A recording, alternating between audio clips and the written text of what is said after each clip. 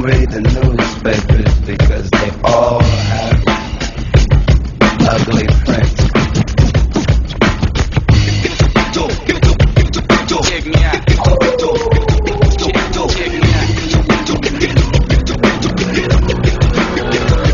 At the starting